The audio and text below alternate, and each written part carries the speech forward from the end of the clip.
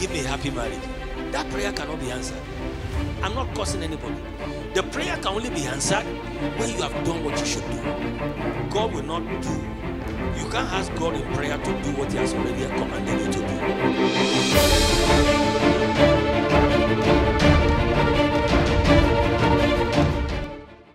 I said, if COVID 19 happened without God's permission, then I think somebody has taken over. And I don't believe so. That means God must have permitted it. Abi? It must have been like what happened to Job. Because that magnitude of what happened to Job wouldn't have happened to him if God didn't allow it. Fact, Satan had to take permission from God. Then God said, okay, try. So I think COVID 19 is with God's permission. I believe the magnitude of the loss cannot happen to the world without God's permission. And whatever God allows from what we have seen, you see, God has a pattern, God has a way of doing his things. Anything God that is that magnitude, anything of that magnitude that God allows, he uses for his glory. This is very important for you to catch. I'm going somewhere. Anytime God allows some dimension of things to happen that far, as though He's not in charge, is because He wants to use that thing. His silence is not without purpose. The pain you have gone through is not without purpose. There are many of us hearing this message this morning, you're watching online, that there are things you're going through or that you have gone through that is too much to say God didn't allow it. I waited for about 20 years to have a, my first child, a biological child. I knew at a point there was God's hand in this one. Because if it is prayer, I have prayed. Somebody said maybe sin. Which sin? Those who are committing this every day, more than. You, you, you. Somebody says generational curse. Where is the curse? Ladies and gentlemen, there are some things that happen to God's children that when they get to a certain level, you should know God must have permitted it. And I said, whatever God permits, He permits because He wants to use it. John chapter 9, a man was born blind. And the disciples said, This man was born blind. Who sinned? Is it the man or the parents? How can the man sin when he was born blind? He has not even started. How can he sin when he was born? so? So Jesus said, Nobody sinned. He said, But I want to use it. I want to what? Can we talk about that a little bit? It's strange about our God that sometimes there are things He wants to use, things that are not palatable. You lost your job, and it's like He watches you to lose that job. Maybe He wants to use it. You lost a relationship that is so important to you. Maybe he wants to use the loss. Because God used the things that looks like nothing to us and brings something out of them. This man was born blind. He said, I want to use it to manifest my glory. That's what he said. John chapter 9, go and read it. He said, I want to manifest my glory. And, and look, some delays are God's instrument. Oh, some things that looks like curses are God's instruments. Some setbacks are God's instruments. God uses failure as raw material for success. God uses disappointments as raw material for miracles. God uses obstacles, difficulties as raw material for amazing opportunities. COVID 19 is an instrument in the hand of God. God wants to use it. In fact, He's already using it. He's already using it. If I don't know any testimony, I know the testimony of this church. If they are counting how many church COVID 19 brought out, is one of us. We are one of them. He shut everywhere down. Made sure everybody were watching online.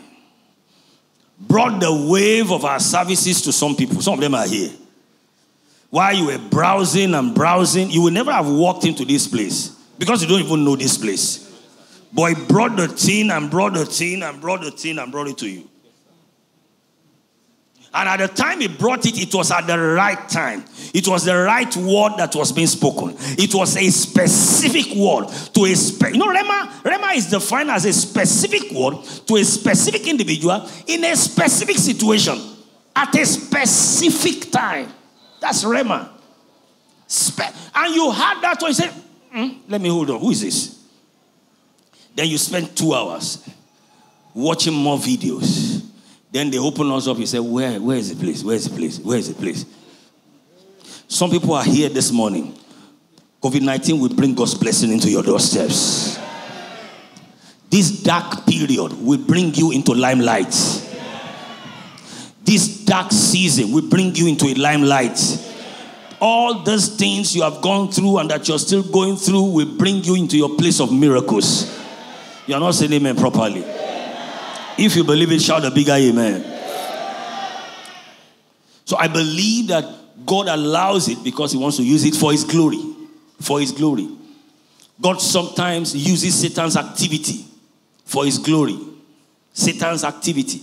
How can you use Satan's activity for your glory? But we have seen that several times. He wanted to double and triple and multiply what Job had.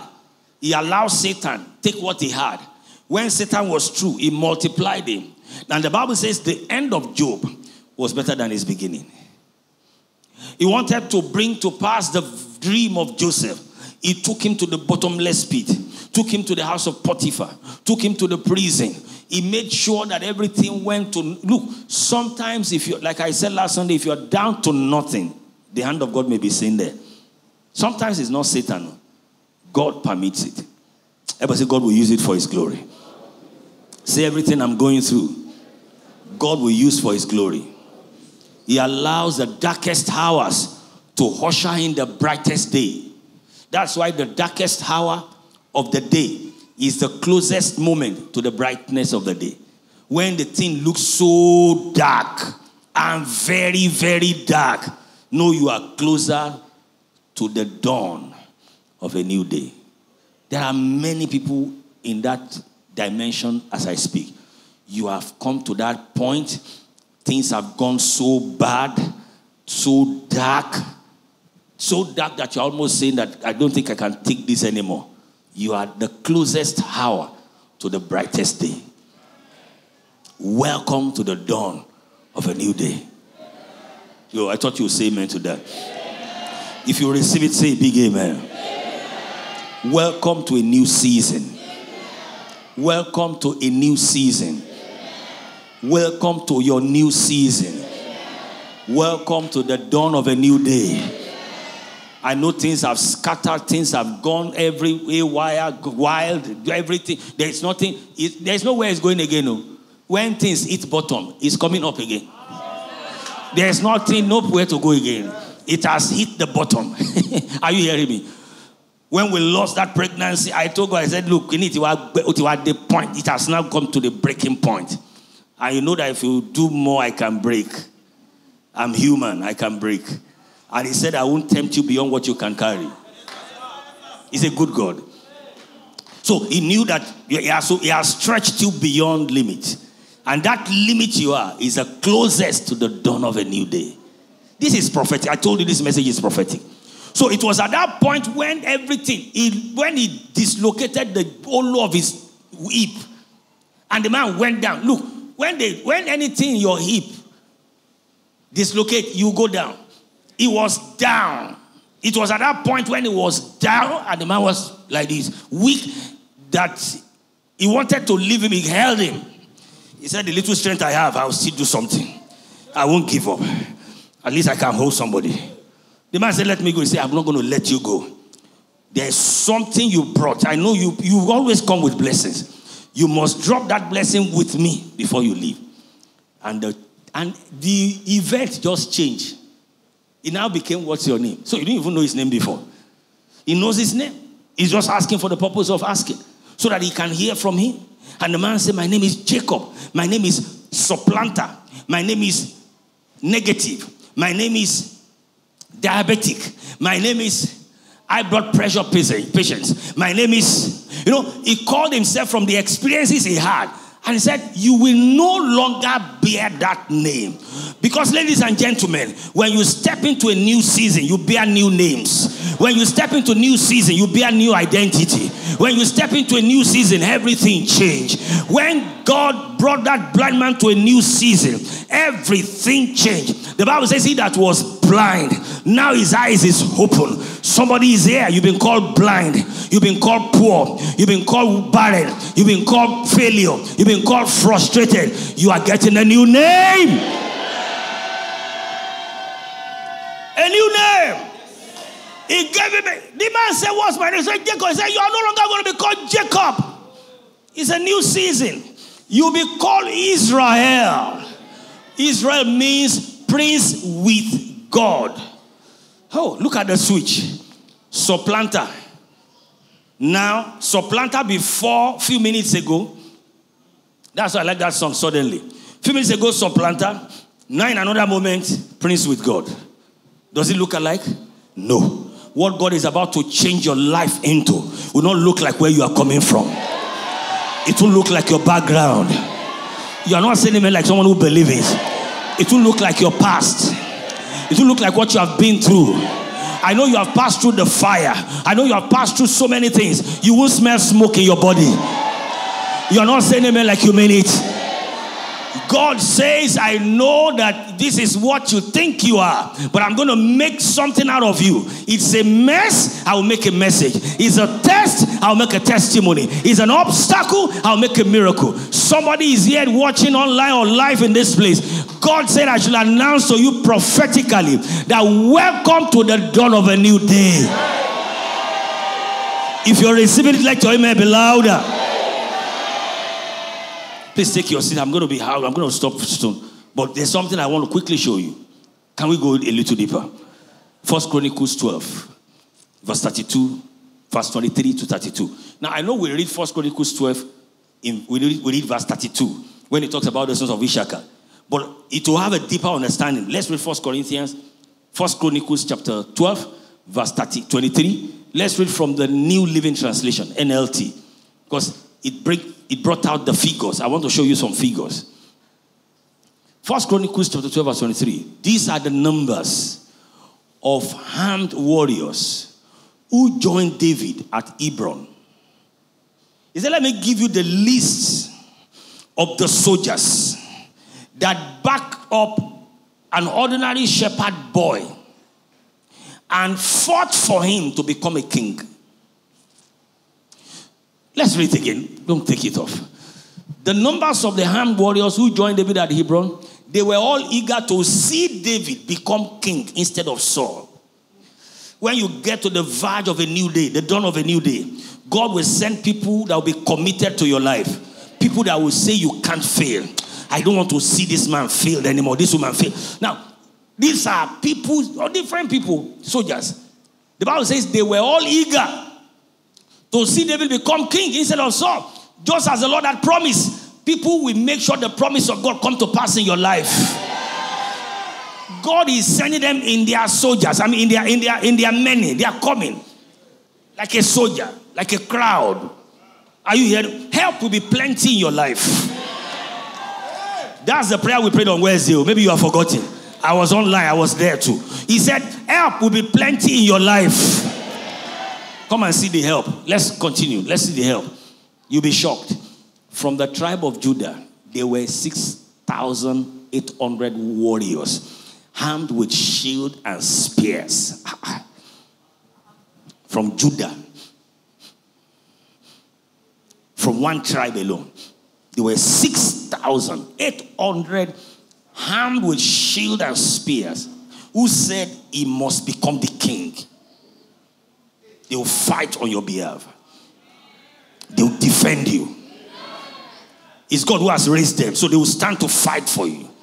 Whoever says God's promise will not come to pass your life, they will say, No, you can't stop him. 6,800 from Judah. The next verse. From the tribe of Simeon, there were 7,100. Ah, they are increasing, 7,100. Brave. These ones are.